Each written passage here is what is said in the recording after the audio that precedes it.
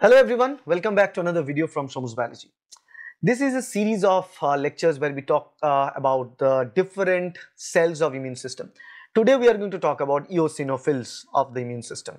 Eosinophil is kind of, uh, you know, snubbed from many books and places. People don't want to read about it, but eosinophil plays a very, very important role they play a really vital role in the process of immune system. Uh, they have an integral role in immunity. So wh what is the origin of eosinophil in our body, the structure of eosinophil, the location of action, the mode of action, the function, all this question will be answered in this video. Okay, so let's start with the origin of eosinophil. And you can clearly see how exactly the eosinophil gets originated.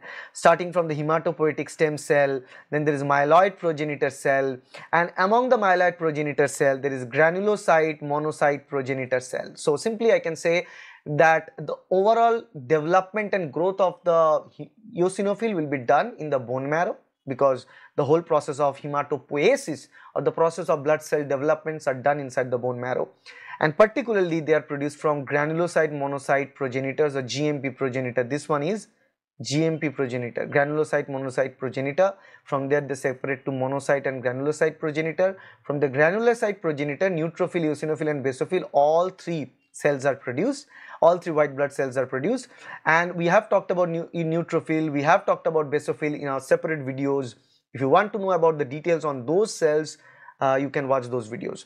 But now this is the time to talk about the eosinophil. So what is eosinophil? Here this is how it's produced uh, and the development of eosinophil is influenced by specific cytokines such as interleukin 3, interleukin 5 and granulocyte monocyte colony stimulating factor GMCSF. We know that the dendritic cells uh, production and dendritic cells production also is in, uh, influenced by GMCSF. GMCSF is kind of a growth factor that influence growth of various kinds of cell in our body including this eosinophil, dendritic cell and all. Okay. So remember interleukin 3, interleukin 5 and GMCSF involved and influence the uh, growth and maturation of eosinophils. Next uh, is uh, it, they are released into the bloodstream after the maturation is done. Now the structure of eosinophil is very very prominent. The eosinophil's look and structure is very prominent. Granular leukocyte which are bilobed nucleus. You can clearly see this is lobe number 1, this is lobe number 2 connected by a small uh, nuclear structure like this. So it's a bilobe, looks like an headphone. See remember the nucleus of eosinophil looks like an headphone. Okay and uh, the bright eosinophilic granules are present in the cytoplasm which are pink in color. You can see although this is red in color shown but actually this uh, these are uh, all granules pink colored granules also known as eosinophilic granules that are present in the cytoplasm and this is lobe number 1 this is lobe number 2 bilobed nucleus. Uh, granules contain uh, major basic protein or MBP okay which in, uh, involves in the parasite toxicity it has eosinophil cationic protein ECP has antimicrobial properties. Eosinophil peroxidase EPO which has involved which is involved in the process of ROS reactive oxygen species production. It has eosinophil derived uh, neurotoxin EDN which has an antiviral property and there are some so so among you can see that among these granules even there are not fixed one category of granules. There are four categories of granules. MBP major basic protein, ECP eosinophil cationic protein, eosinophil peroxidase EPO and eosinophil derived neurotoxin that is EDN. Okay. So, these are all four different kinds of granules present and then there are some surface markers uh, CCR3, FC epsilon R1 receptor for the activation of IgE mediated uh, you know uh, allergic response CD11B and CD18 okay?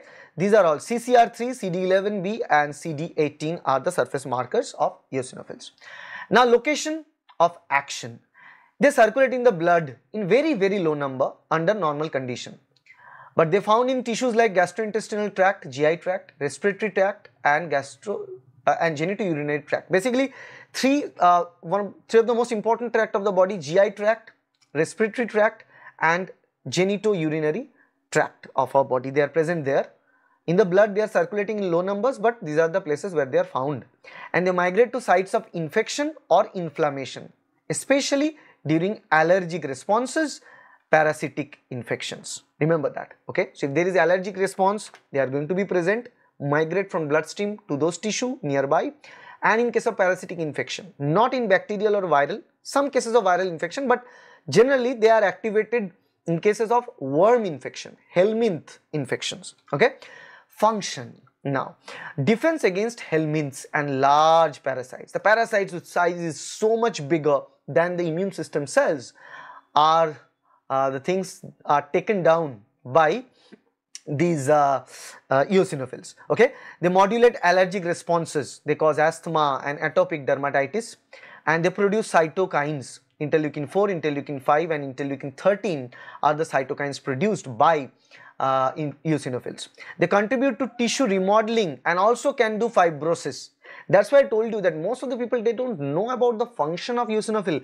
Eosinophil's function is not to go up against the helminths although that's the primary role that we can connect to but they can also modulate allergic reaction they can modulate uh, the tissue remodeling as well as the fibrosis of the tissue can be triggered and they can regulate immune response by interacting with other immune cells too because they can also release some cytokines like interleukin 4, interleukin 5 and interleukin 13.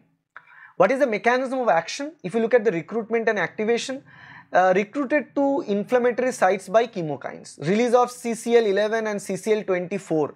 Whenever there is a release of CCL11 and CCL24, these chemicals cause the migration of these uh, eosinophil towards the specific tissue from where they are released. They are activated by cytokines like interleukin 5, IgE antigen complexes and complement components like C3A and C5A which are part of the anaphylatoxins. Okay. So, these are uh, the recruitment and activation they require IL-5 or they can be activated with the uh, allergy reaction Ig mediated allergy reaction or they can be activated by uh, the complement proteins like C3 and C5a. Mechanism of action degranulation. Degranulation of eosinophil triggers most of the reactions in the body. So degranulation you can see that there are granules like MBP, ECP, EPO, EDN these are all granules and if they really start releasing these components, you know, when they start releasing the component when there is a parasitic infection or where there is a stressful condition of the cell or in some kind of inflammatory diseases of the body, they start releasing the granules, okay. Release of granule content onto the parasites or the allergens. If there is any allergen, they can also trigger that, okay. So, a false trigger can be done during the presence of allergen. So, the major basic protein or MBP damages the parasite and host tissue so, you know the helminths, the helminths look much much bigger. Let's say this is a helminth structure and compared to that the cell is very very small even smaller than this. So, release of this granule components are going to damage and create pores in the helminth membrane that can damage the helminth. That is one thing. Particularly the major basic protein do that, MBP does that.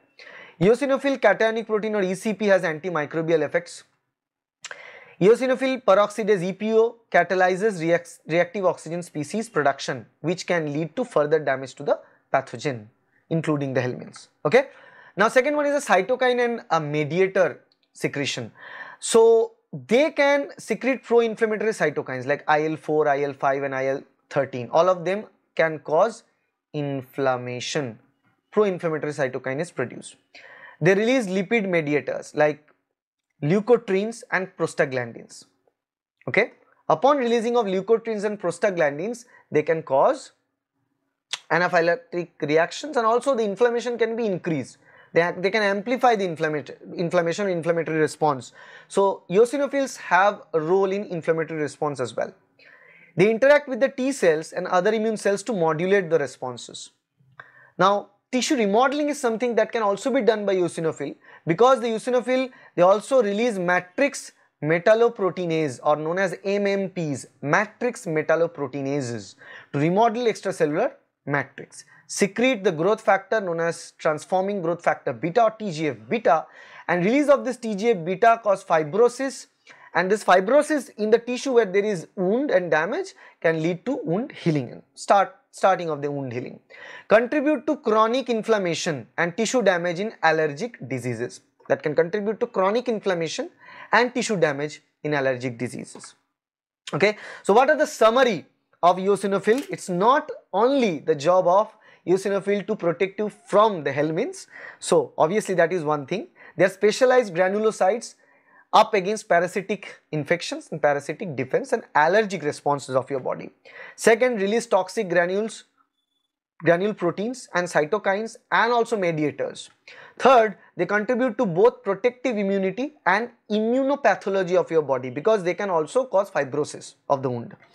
And the last is they play roles in inflammation, tissue remodeling and fibrosis I already mentioned that. So these are the important features of eosinophil. Depending upon the requirement it, it can switch its activity.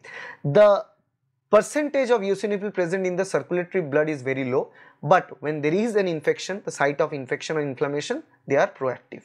Okay? I believe you have a clear idea about eosinophils now and you have all the details about the note. If you like this video please hit the like button share this video with your friends subscribe to this channel to get more videos like that in future and watch this complete series of immunology to understand and become a master of immunology. Thank you. Bye